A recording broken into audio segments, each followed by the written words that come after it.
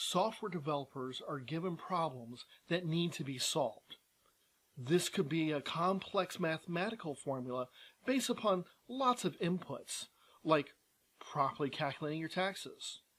Or it could be a series of steps that need to be used to control a CAM, or computer assisted manufacturing robot arm, or any other number of things. The developer will take an abstract directive, properly calculate a person's taxes, and then from there create a step by step process to solve that problem. The developer must break the problem down into sections of simple, small steps that a computer can understand. Generally, a computer can understand three basic blocks of steps. Within these basic blocks, we build more and more complex structures by putting them together. Let's look at these three. First is a process. A computer is expected to be able to process information. This might be as simple as adding two numbers or capitalizing a set of text. Sometimes these processes have many steps or mathematical rules.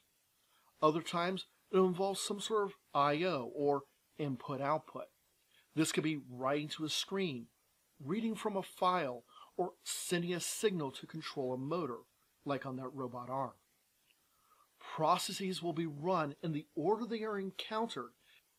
If a process has multiple subprocesses, it might be relegated into a separate function or procedure so it can logically operate as one single process. By grouping steps into a function or subprocedure, you can then logically organize your code and call these tasks multiple times throughout your entire program. A decision block. Computers often need to perform a set of processes if a condition is true or another set of processes if the condition is false. This is called a decision block. The condition is a question that has to be provided as a true false answer. So you can't say based on the color, but you can say if the color is blue. Decisions let the computer change the path based upon the condition. They allow a program to execute a set of processes if the condition is met or completely skip that set of processes. A decision body will hold the processes to execute and may include other decision blocks or even repetition blocks, which we'll look at in just a minute. Now, repetition blocks allow for a process of a set of blocks to be repeated over and over. There are two major types of repetition blocks.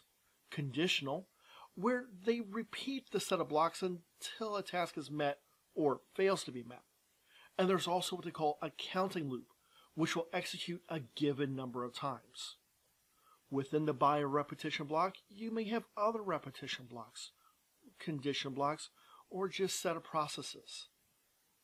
You will build an algorithm around these three blocks using as many or as few as are needed to meet your goals.